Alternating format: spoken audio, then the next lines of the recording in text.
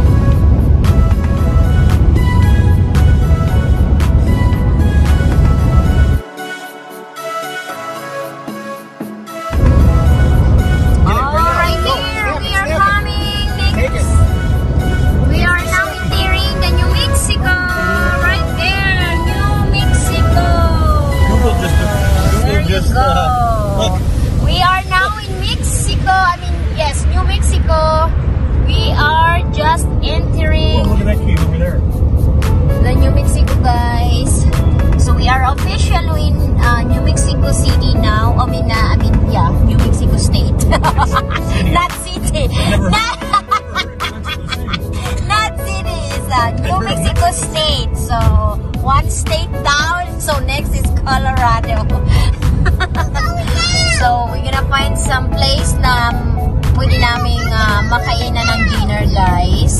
Dito sa New Mexico pag before mag ano kami mag uh, hinid sa ano uh, mag-drive uh, to uh, Colorado.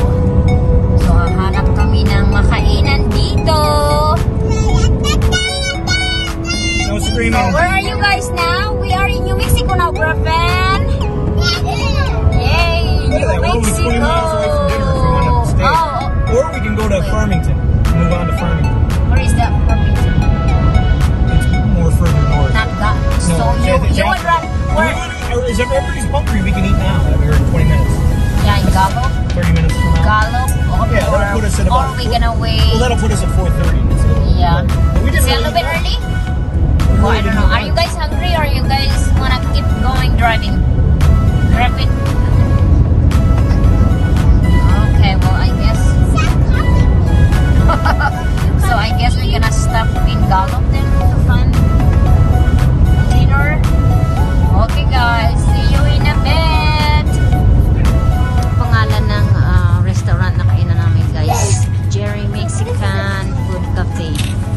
Ito yung town na malapit sa ano sa dinadaanan namin. So dito kami nag-stop para kumain guys.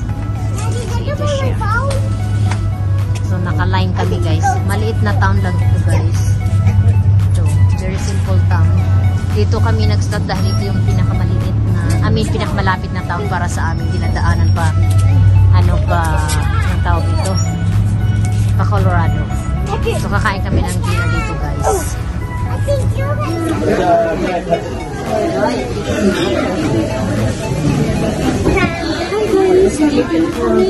Sa restaurant. Finally, nakakuha na kami ng table. Gutom na, gutom na daw po itong dalawa. So, uh, hindi makita masyado yung anak kong lalaki. Buddy, I can't really see you, buddy. Buddy.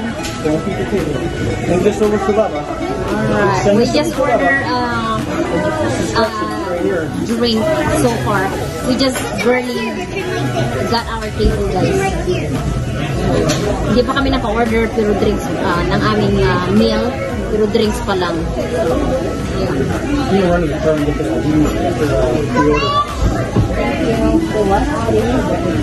After we uh, get order, I'll just get with you.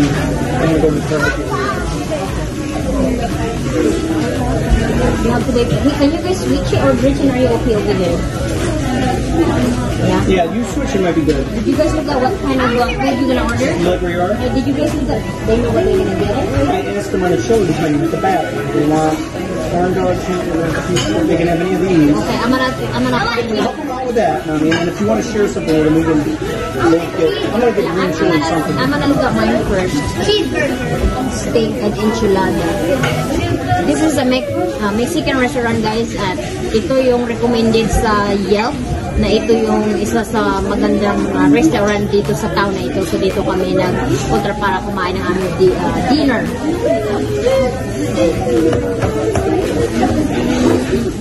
Ito yung ah, order ko guys. Sa akin may taco at saka enchilada ito at saka Spanish fries and then beans. Sa anak ko naman hamburger. How much, what happened with Gretchen? It's not coming yet. So may, sa anak kong babae, wala pa guys. Ito naman sa husband. Which is similar sa akin guys. What is this daddy? Same as you got. No, I got a different one. Yeah. So yummy guys. It's a big plate guys. Is that what you ordered buddy? Well, I didn't order french fries, but they did put Hey, you can share with me. So, ito yung aming order, guys. So, sana kung babae, hindi pa dumating, guys. So, kain tayo, guys. You start eating now. You want a taco? I got a taco. I have a taco, but you want a taco? I got a lot of it. Yeah, mommy and daddy have a lot of food, so. Kain tayo, guys. This is, this bread is so good. It's like, uh, Is it good, mommy? I think it's not yeah, I think this is like a Indian American, uh, native American Indian, um, uh, native, uh, uh, homemade, um, bread. Ang sarap, guys. Daddy, this ketchup, I don't know if this is ketchup. But Daddy, Mommy, is that, but Daddy, this ketchup. Yes, I think so. that is ketchup. I hope it's not chili. So good, Mama. That's real chili right there.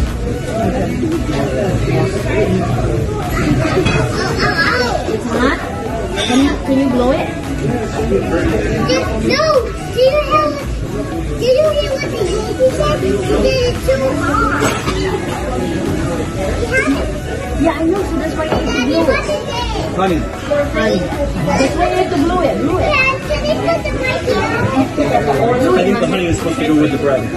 Okay, No, no, no, no. Focus on your tacos and your. Uh, you want some um, ketchup for your, for your uh, uh, French fries? Oh my god, this is so yummy. So yummy. Mm. So good, very yummy.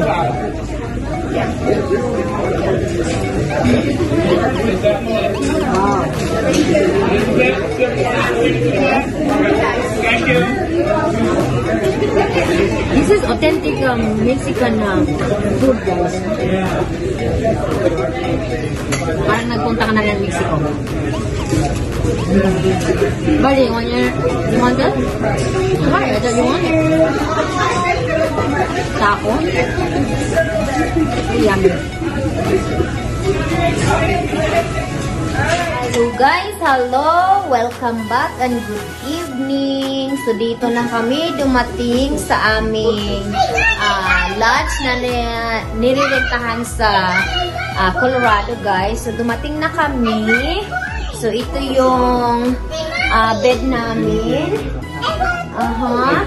So, may dalawang ah, queen bed. So, saktong-sakto talaga sa aming apat. Maliit lang ang room, guys. So, ito yung ah, bathroom. And, mayroon ring, ano, ah, table at saka couch. So, sakto lang sa amin, guys. Pero hindi masyado siya malaki. Pero okay na rin. And then, surprisingly, dahil my kitchen actually itong room na nirentahan namin. So, hindi ako nag-expect. So, medyo disappointed ako dahil hindi ako nagdala ng magpagkain dahil hindi ko in-expect na may ref.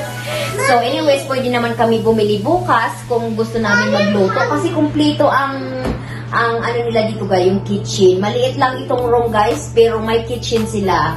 So, may microwave rin at saka may stove.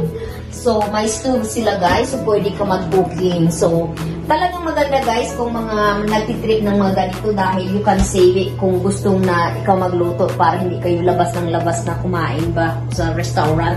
So, para makasave, ito ang maganda. So, uh, yeah, so mga drinks lang yung dala namin guys. So, it's good kasi may ref kami. So, dumating kami kanina guys, siguro mga after 9, uh, after mga 9.30, so magti 10 p.m. na rin dito. So, mag na rin ako guys dahil late na, matulog na rin kami. Kasi bukas, mag ano kami, bukas mag uh, adventure kami. So, bukas yung amang first adventure. Uh -huh. So, uh, see you bukas guys. Abangan ang aming next vlog. And sana nagustuhan niyo itong aming uh, munting vlog for today. And uh, see you sa aming next vlog. And thank you for watching. And please don't forget to subscribe to our channel. Ayan, nakapaligo na tong mga anak ko guys. Yeah, so see you guys. God bless. See you in our next vlog. Bye-bye.